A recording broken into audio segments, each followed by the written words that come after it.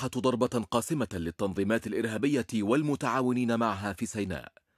حيث تمكنت عن نقل المعلومات بين التنظيمات الإرهابية بسيناء والعناصر الجدي برفح.